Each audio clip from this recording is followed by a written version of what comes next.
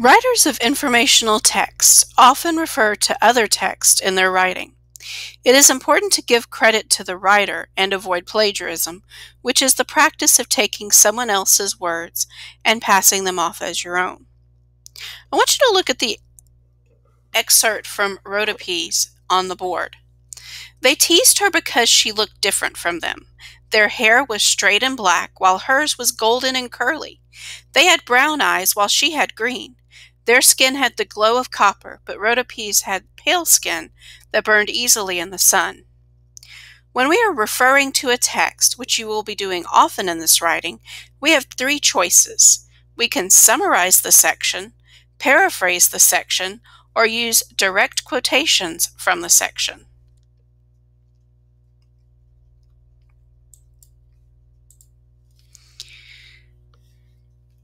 A summary is a brief account in your own words of what happened in a section of text or the whole text. We summarize when we want to draw out specific points and omit unnecessary information. Omit means to leave out. I would summarize the excerpt on the board like this. Rhodopis was teased because of her different skin color eye color, and hair color.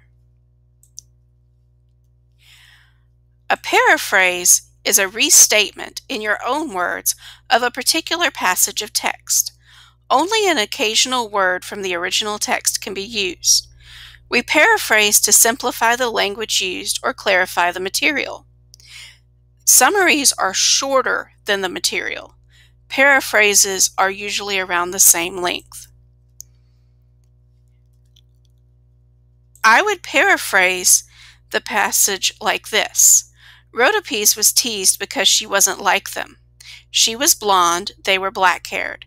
She had green eyes, they had brown eyes. She was pale, they were dark.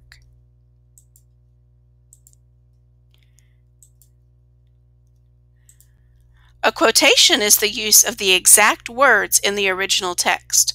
Quotations are often used for credibility or because the language of the author is powerful. Changing the language in any way would detract from the meaning and lose the effect. I could quote the entire excerpt, or I could quote part of the excerpt on the board that has great effect.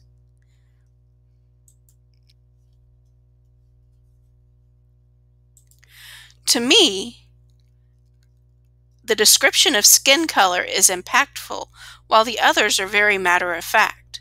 There is an underlying meaning in the description of skin color.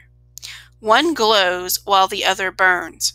I would say Rhodopis was teased by the other girls simply because she was different, for she had pale skin that burned easily in the sun, while their skin had the glow of copper.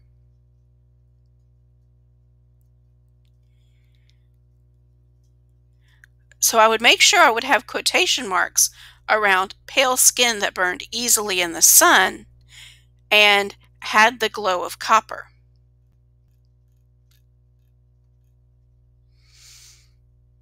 I want you to open the document that says referencing text the correct way. At the top, we have the definitions of summary, paraphrase, and quotation.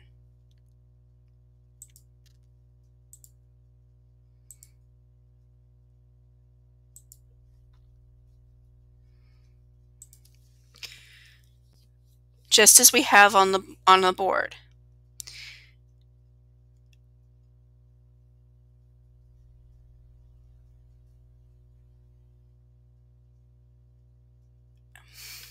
We're going to read the following excerpt from the end of Cinderella. If you're writing an explanation of how the story ends, how would you do so using each of the options above? And you're going to write your line answers on the lines provided. She was taken to the young prince dressed as she was. He thought she was more charming than before, and a few days after married her. Cinderella, who was no less good than beautiful, gave her two sisters lodgings in the palace, and that very same day matched them with two great lords of the court.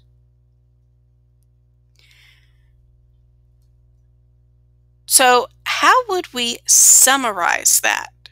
Remember, summaries are going to be shorter and give just the essence.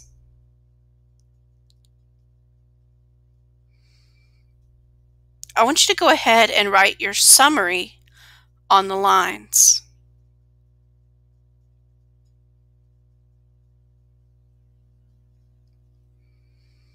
Now, what about paraphrase? Remember, paraphrase uses roughly the same number of words but changes the words.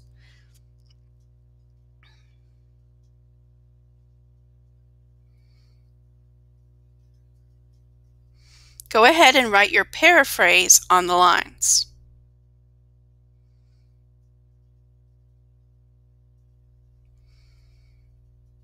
Now with quotation, I wouldn't quote the entire passage. I would do, as I mentioned earlier, and find a very impactful set of words to quote from the passage to write your quotation summary.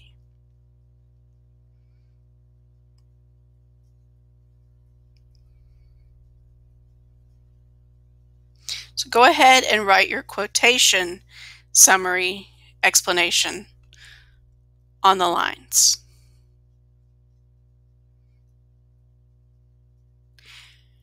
Now I want you to go back and look at your outline and make any changes necessary to avoid plagiarism. In other words, using someone else's words as your own without giving them credit.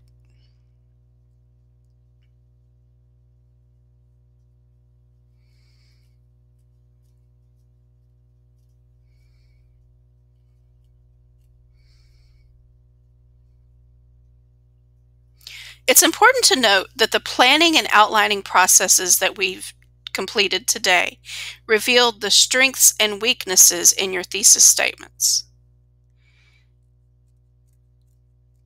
Did you end up revising your thesis statement as you went along?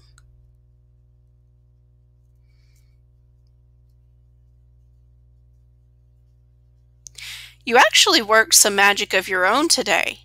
You transformed a humble thesis statement into a full-fledged outline for writing. In upcoming lessons, you will further transform the outline into a draft, and then we'll put the final touches on the essay before presenting it at the ball.